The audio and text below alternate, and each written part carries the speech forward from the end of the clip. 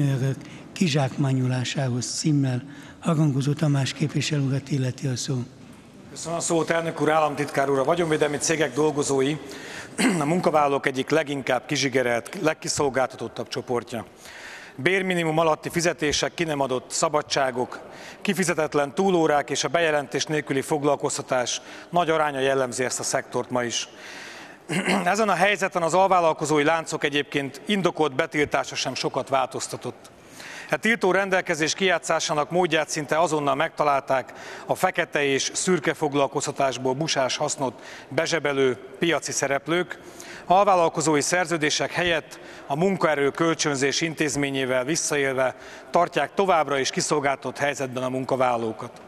A színjáték tehát változatlanul folytatódik, a teljes szektorban továbbra is dübörög a fekete gazdaság. Munkaerő kölcsönző cégek alakulnak és szűnnek meg, pörögnek a számlagyárak. A legtöbb vagyonőrnek egy év alatt papíron több munkáltatója is van, miközben ugyanott dolgozik, ugyanazt a formaruhát viseli, és ugyanattól a szemétől kapja az utasításokat.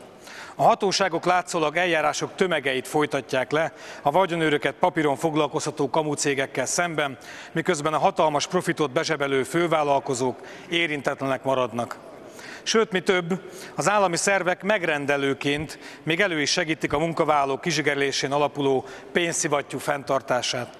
Legutóbb egy internetes hírportál közölt részletes cikket egy olyan cégről, ami a jól ismert módszerekkel, alvállalkozók közbeiktatásával látja el számos állami és önkormányzati épület őrzés védelmét. Korábban még a Nemzeti Adó és Vám Hivatal is magyarázkodni kényszerült az objektumait védő vagyonőrök munkajogi helyzetét illetően.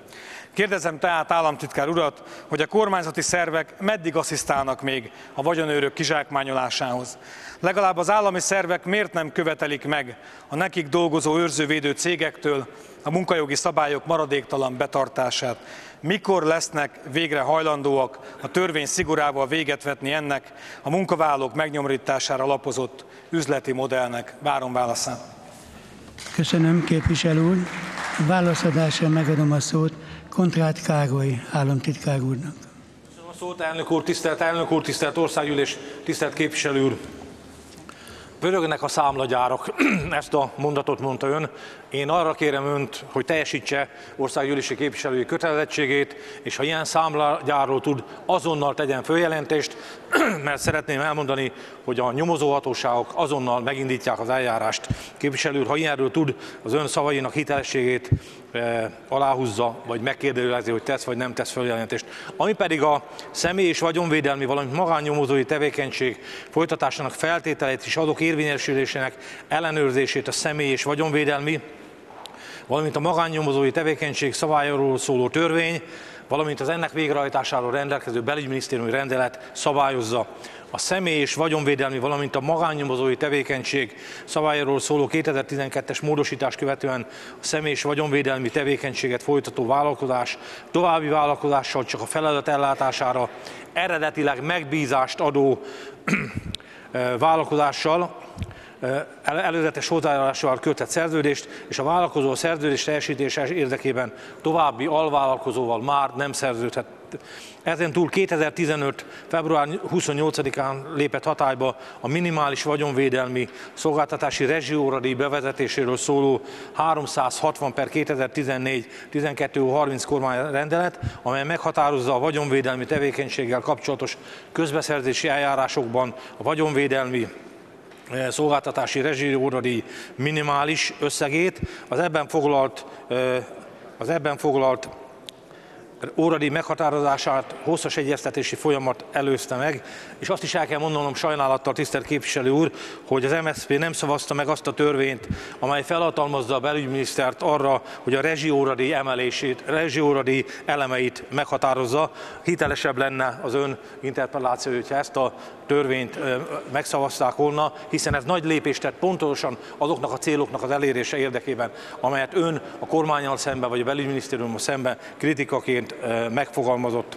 A tevékenység folytatásának feltételét is azok érvényesülésének ellenőrzését a személy és vagyonvédelmi, valamint a magánnyomozói tevékenység szabályairól és annak végrehajtásáról rendelkező jogszabályok határozzák meg.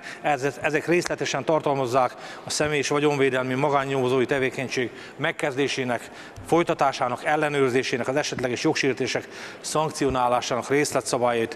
Az e-jogszabályok hatája alá tartozó tevékenység hatája, hatósági ellenőrzését jelenleg a rendőrség, a Nemzeti Adóisványhivatal és a munkaügyi hatóságok végzik. Ebből fakadóan a személy és vagyonvédelmi magánnyomozói tevékenységet végzők szoros, különböző szempontrendszerű ellenőrzésének vannak kitéve annak érdekében, hogy biztosítsák a munkavállalók alapvető garanciális jogainak minél szélesebb körű érvényesülését. Tisztelt képviselő úr, az interpellációban is elhangzott munkaerőkölcsönzés szabályait a munkatörvénykönyvéről szóló törvény tartalmazza, az abban foglaltak megvalósulásának ellenőrzése pedig a munkaügyi ellenőrzésről szóló törvény rendelkezései alapján a munkaügyi hatóságok feladatkörébe tartozik, így a munkaerőkölcsönzés szabályának ellenőrzése tekintetében nem a rendőrség, hanem a munkaügyi szerv rendelkezik érdemi hatáskörrel. Tisztelt képviselő úr, az interpellációjában feltett valamennyi kérdésre válaszoltam, konkrét választattam. Kérdem, kérem a tisztelt képviselő urat, hogy erre tekintettel fogadja el a válaszomat. Köszönöm szépen. Köszönöm, államtitkár úr. Kérdezem képviselő urat, elfogadja-e az államtitkári választ? Tisztelt államtitkár úr, nyilván nem lehet elfogadni az ön válaszát, ha ön válasza egy percig is igaz lenne, és önök ezek, ezt a kérdést komolyan vennék, akkor nem születnek olyan cikkek, amik kon- konkrétan leírják, hogy ma is hogyan működik ez hogy tízezrek és százezreket mai napig bejelentés nélkül kizsigerelnek, ellopják a pénzüket, államtitkár úrnak, semmit nem csinálnak. Lehet, értem, hogy személyében vannak név, összefüggések a Fidesz, meg akár a belügyminiszter úr és ezen terület között. Ez akkor is skandallum.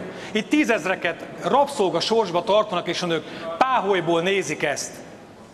2000 forintos elnyert fővállalkozói díjból 4-500 forintot visz a nap végén haza a melós. A többit a munkaerőkölcsönző cég és az egyszeres alvállalkozói szinten kilopnak ebből. Majd egyébként valóban nem kell feljelentést tennem, mert nem olyan régen Baranya megyében egy fél várost elvittek számlagyártás és egyébként ilyen ügyek miatt államtitkár úr. De a rendszer továbbra is azon alapul, hogy a nap végén a melós éhezik, nincs bejelentve, és a végén még se nyugdíja, se egészségügyi ellátása sem lesz. Nem lehet elfogadni a válaszát, amíg ezen nem változtatnak. Köszönöm szépen! Köszönöm, képviselő úr. Képviselő választ nem fogadta el. Kérdezem a tisztelt országgyűlést, elfogadja az államtitkári választ. Kérem, szavazzanak.